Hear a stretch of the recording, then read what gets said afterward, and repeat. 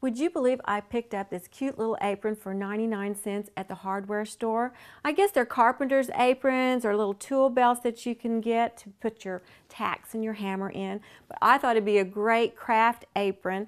And look, all I did was add some felt and embroidery and oh, let's see, I've got some safety pins and beads on there too to finish it off just put this on and I've got a place now for my glue gun, my glue sticks, and anything else I'm using to craft with.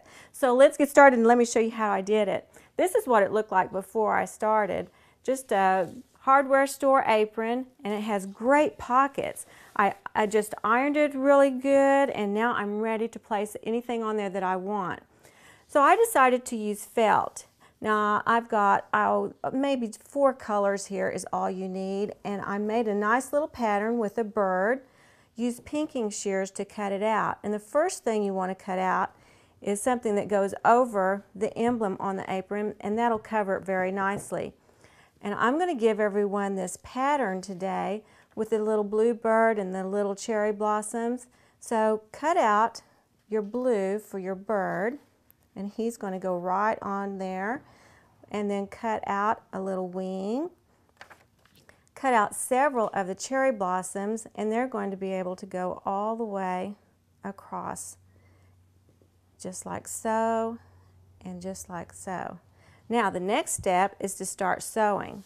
After you've done your placement then you'll need some embroidery floss. Embroidery floss comes in so many pretty colors and I've chosen the blue and the raspberry and the brown to do this.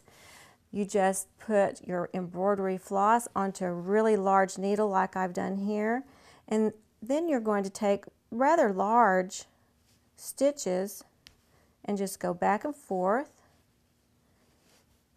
until you're all the way around. And you do the same thing on the other pieces. See how it just continues to build?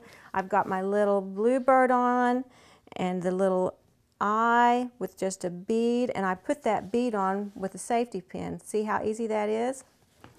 And then I'm going to do the little branch. And this is a simple stitch. It goes behind where you bring the stitch up and then it goes back in and over,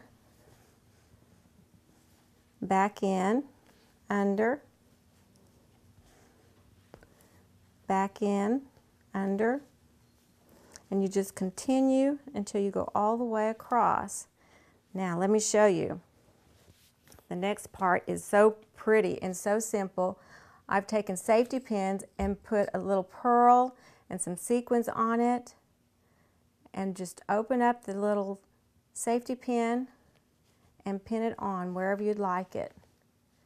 That can hold on your little cherry blossoms and then be added onto other spots just for decoration. That is so cool and really fast. You can do this in an afternoon and you've got a cute little crafter's apron.